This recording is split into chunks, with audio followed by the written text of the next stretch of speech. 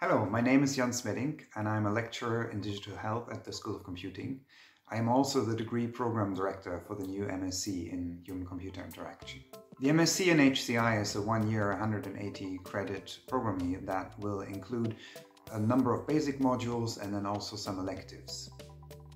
The basic modules in HCI of course include HCI itself, introductions to user experience and deep course in interaction design. On top of that, you'll also be learning how digital systems uh, impact and influence systems and societies. And of course, you'll be learning about the technological foundations of digital systems.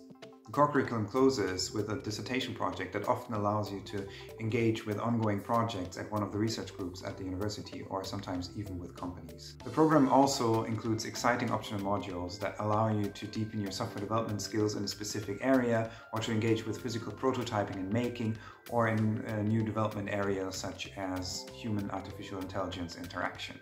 The MSc in HCI will give you a really good understanding of what it means for people and societies to be interacting with digital technology. And then of course, most importantly, how to make digital technology that really works for people.